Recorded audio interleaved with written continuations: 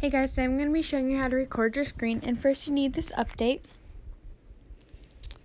The most recent update. And you go to settings. Scroll down to control center. Click on customize controls. And then you scroll down and you click screen recorder. It'll be in the green. And once you click it, it'll go up and it'll be in the red. And it says screen recording right there. I'm going to click on it for you. Right there, screen recording. And that's all there is to it. Um, hope it has helped you. Bye.